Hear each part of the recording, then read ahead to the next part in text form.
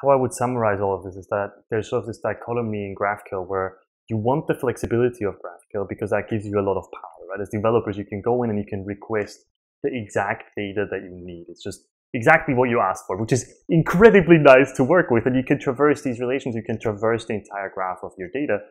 But then that flexibility comes with the trade-off of now you have a really flexible API. And so if you just open that up to the world, if you expose it, then people can just send whatever queries they want. They can request whatever data they want. And often your backends aren't prepared to handle that. And there, there's lots of novel attack vectors in the way that GraphQL works with aliases and um, deeply nested queries and whatever you want that just could really mess up your backend and cause you to send millions of database reads to your database. And so I think if I were to summarize everything you just said, it's like there's a, that dichotomy in the flexibility of GraphQL.